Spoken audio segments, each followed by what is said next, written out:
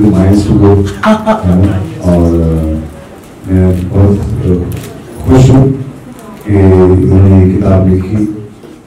हमने यात्रा शुरू की उन्होंने। अपने पैदा होने से पहले की कहानी लिखी है।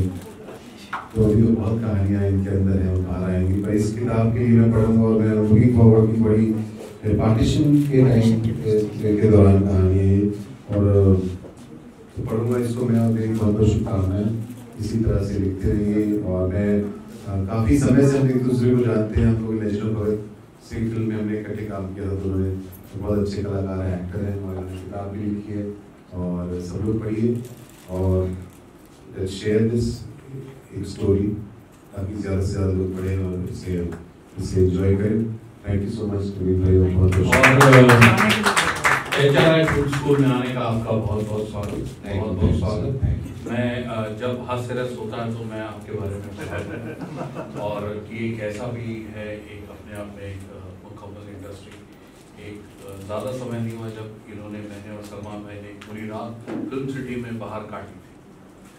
और वी डिस्कस अ लॉट काटी तो ऐसे कहते मजबूरी में काटी थी मज़े में डालने के लिए आपका स्वागत है। और आप स्वस्थ रहें। जी। भाई मैं देखिए मैं किताब तो पढ़ा नहीं मैं इस आदमी से मिला हूँ नवीन जी से। अच्छा समझदार बहुत इंटेलिजेंट आदमी है और इनका हुक्म था मैं आ गया। और मुझे हमारी एक अगली फ़िल्म में ये लिख भी रहे हैं और देखते हैं कैसा अभी है। But is very good man very human being अच्छा इंसान है इनका हुक्म था। और फिर आगे आप सबसे मुलाकात हो गई और अच्छा ही लिखा होगा, जो पर्दे पे देखा हमने। और इन्होंने बताया कि हमारे हैपन हमारे परिवार के साथ ये काम हुआ। तो जो काम आत्मा से होता है, वो उसमें खूबसूरती अलग ही होती है। तो आपको बहुत बहुत मुबारक हो। Thank you very much thank you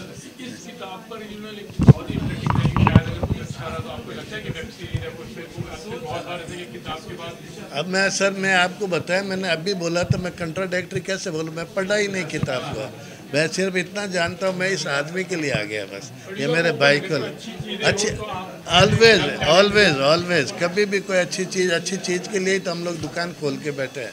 और अच्छी चीज़ मिले तो अच्छी बात है। और कोई चीज़ अच्छी होगी तो उस पर फाउंडेशन अच्छा होगा तो काम भी अच्छा होगा। आप क्या कहोगे कि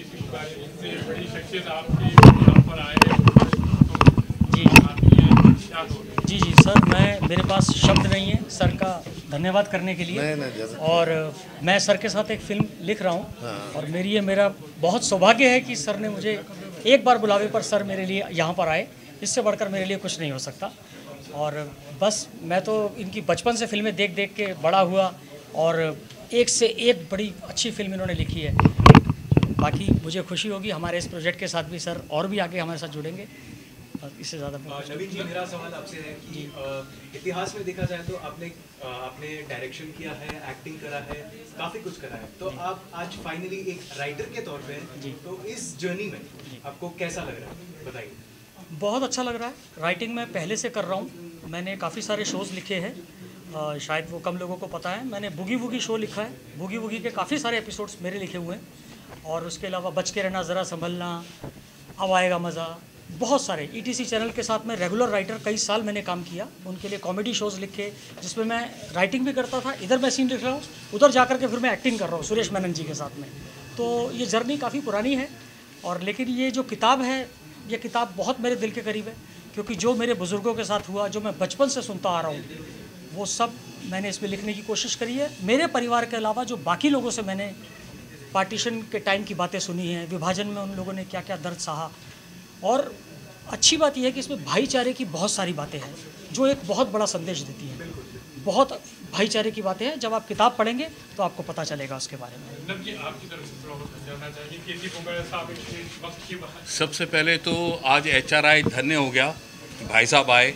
मतलब जैसे ही कहा था नवीन जी ने कि भाई साहब आएँगे भाई साहब चीफ गेस्ट होंगे सो सबसे बड़ी बात कि एक अपने आप में एक मुकम्मल एक इंडस्ट्री आज हमारे यहाँ आए। और कहा कि जब आपका मन करे बुला लेना। सो सारे बच्चे मेरे खुश हुए।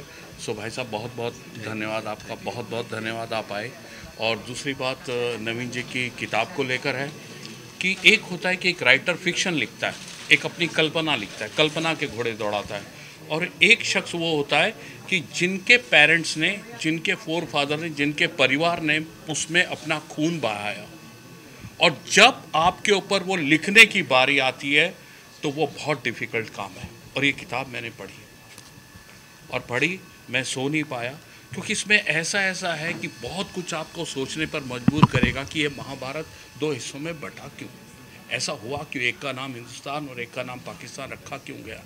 और एक एक जब कहानी पढ़ेंगे, क्योंकि हमारे भी पूर्वज इसमें इन्वॉल्व थे, और आप जब 64 पेज इसका पढ़ेंगे और किरत सिंह के बारे में, जब वो सवा साल का बच्चा जब वो अपने पेरेंट्स के सामने, जो पंद्रह साल के बाद हुआ था।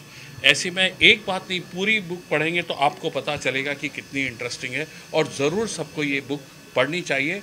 और मैं दावा करता हूँ कि जो प्रोडक्शन हाउस इस पर, चाहे वो वेब सीरीज़ बनाए, चाहे फ़िल्म बनाए, ये पूरी दुनिया ज़रूर उसको देखेगी, अगर वो सही से बनेगी तो। ये मेरा।